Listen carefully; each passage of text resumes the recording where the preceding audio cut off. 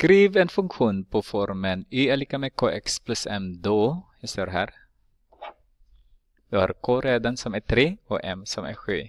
Så y är lika med 3x plus 7. Vi måste titta på det här tiden. Glo på den.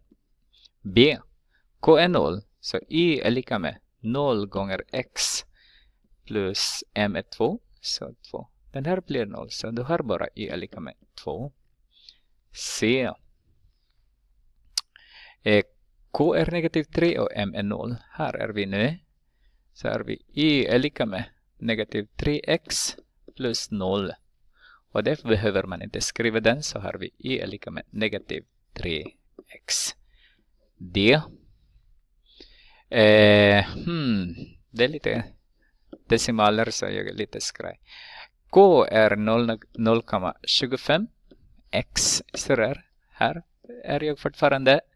Eh, och sen m måste vara negativ eh, 1 så minus 1.